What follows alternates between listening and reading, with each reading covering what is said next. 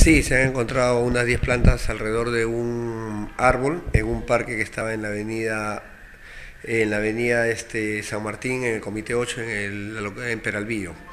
¿no? Este, lo que se tiene conocimiento es que las personas se están dedicando a, cultivar al, costado, a sembrar al lado de los parques, así este plantón de marihuana.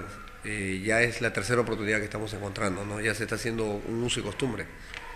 ¿Aproximadamente cuántas plantaciones han encontrado? Hoy día ha sido un promedio de 10 plantas, las hemos procedido a erradicar y se va a poder a destruir dentro de un momento comunicando a las autoridades. ¿no? La vamos a destruir de todas maneras. ¿De qué tamaño han sido estas plantitas? Eh, deben tener algunas un promedio entre 10 centímetros a 15 centímetros de, altura, ya estaban ya grandecitas, por lo menos deberían tener ya más de unos tres semanas. ¿Habrían estado ya listas para el consumo? Eh, sí, a la grandecita ya esas, ya algunas ya podrían ser consumidas quizás.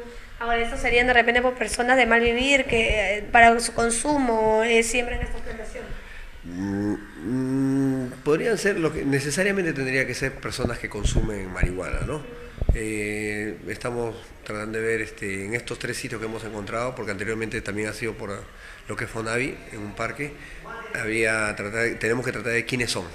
Este, por lo general es difícil, si ustedes pueden ver es difícil, es una planta común corriente y pequeña, ¿no? las más pequeñas, es difícil establecer, parece una planta común corriente, pero las características hacen pues que efectivamente no, este, ya el personal ya tenga un poco de experticia y sepa, ¿no?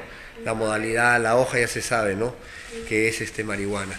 Entonces estamos indagando para ver quiénes son y en qué momento lo están haciendo y cuál va a ser el destino. Efectivamente, que si es este plantaciones que no son usuales, de plantas, flores que han puesto tanto el municipio como los vecinos, que nos avisen, ¿no? Porque con la comisaría van a tomar sus precauciones. Sí, de inmediato vamos a comunicar a Serenajo también.